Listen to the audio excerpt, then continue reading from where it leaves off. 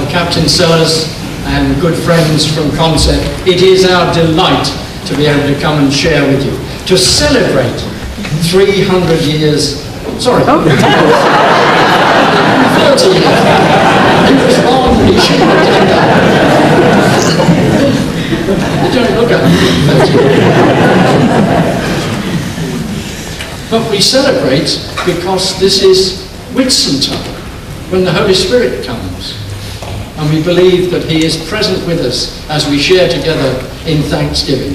So on behalf of um, Bandmaster Brythe and the Enfield Citadel Band, we are so grateful of your welcome and response.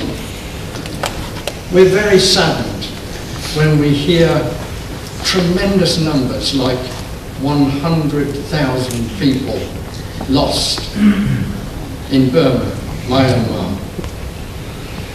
And we're anxious when natural calamities like that happen. But you know, during World War II, there were a number of places in Russia where a tremendous carnage took place. The citizens of Leningrad lost 668,000 people who were killed or died of starvation. And among those people in Leningrad was a young man, Dmitry Shostakovich, and he had already written quite an amount of music. And to celebrate and commemorate the fact that they had come through unscathed, he wrote beautiful dances for people to be able to share and celebrate. And so we have one of those, two of those dances, the youth dance and the Song of Leningrad.